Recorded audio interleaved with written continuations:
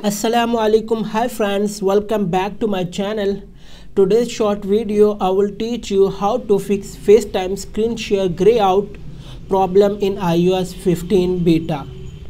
So without wasting any time let's get started. So guys as you can see i'm using ios 15 beta and i have updated my iphone and there is a problem in facetime. So first of all let me show you facetime gray out problem. The problem is that when you make a video call you can't share the screen and you can see that that the share button is gray out under the facetime. Now let's solve this problem in ios 15 for that open the facetime app on your iphone then click on the create link. Now wait for a few seconds then share this link on any platform. You can copy this link. So guys, I'm going to send this link on the WhatsApp.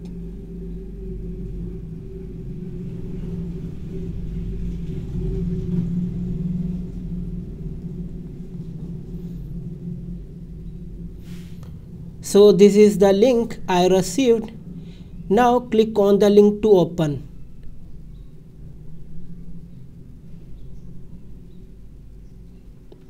Copy this link. After copying the link, go to any browser and search this link.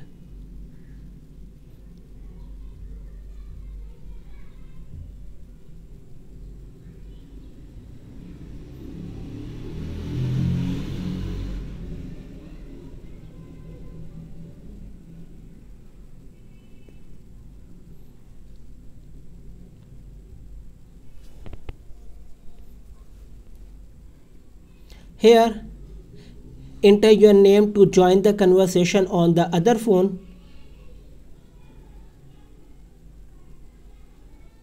Click on continue, then click on allow and then click on join button. Then click on the FaceTime link here.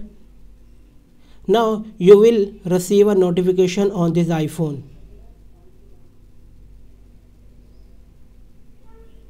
Click on join. So guys as you can see the issue with the gray out has been resolved. Now you can easily share your screen. That's it. Like and share this video with your friends. Subscribe to our youtube channel.